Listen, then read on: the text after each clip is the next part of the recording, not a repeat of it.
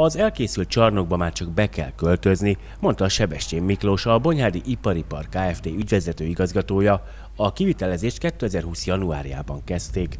Gyakorlatilag egész évben a négy raktárcsarnok építése és a hozzátartozó infrastruktúra megvalósítása zajlott. Ennek évvégén ért véget a kivitelezése, aztán pedig hát ugye a műszaki átadás, átvétel és a használatbevételek zajlottak le. Közel 4 hektár területen valósult meg ez a 3600 négyzetméternyi ipari raktárcsarnok épület együttes. Ez négy épületet jelent. Ehhez tartozóan van két belső út, ami megvalósult, és ezekhez tartozó csapadékvíz, szennyvíz és egyéb közművek, ezek az infrastruktúrák valósultak meg. Gyakorlatilag a szerződés szerint a kivitelezés munkák november végén befejeződtek. Utána tartottunk egy közel egy hónapos műszaki átadás átvételt, ez volt december végén, tehát karácsonyra gyakorlatilag kész voltunk, és akkor a használatbevételeket indítottuk el, illetve az épületeknek a használatbevételi engedélye az tavaly meg is született, ez az energetikai jogszabályok miatt elég fontos volt, úgyhogy gyakorlatilag ezzel a kivitelezés időszaka fejeződött be.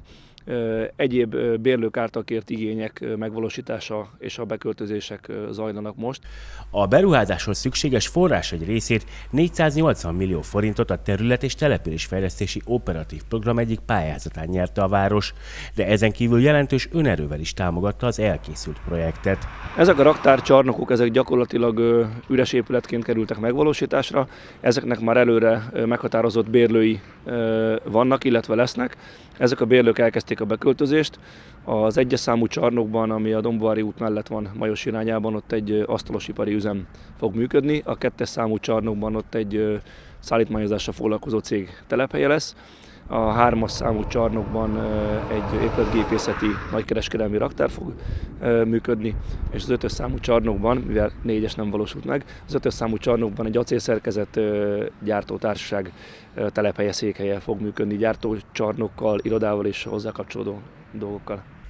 És hogy milyen pluszt ad ez az ipari park Bonyhádnak? Hát az ipari park gyakorlatilag, ami ugye folyamatosan fejlődik a szomszédságban lévő Völgységipari Park területén megvalósítandó infrastruktúrákkal, épületekkel együtt. Ez azért jó, mert ugye itt a részben még nem Bonyhádon működő cégek tudnak ide betelepülni, itt valósítanak meg új munkahelyeket, itt fizeti gyakorlatilag az adójukat, ez egyfajta fejlődés, és én azt gondolom, hogy mivel most látjuk a további fejlesztések ötleteit, és elég nagy jelentkezés van társaságok, bonyhádi, illetve vidéki társaságok betelepülésére. Ezért én azt gondolom, hogy rövidesen újabb bővítések lesznek, ami azt jelenti, hogy Bonyhádnak ezen a ipari területén egy legalább középtávú nagyon életképes és működő iparparkja fejlődhet folyamatosan.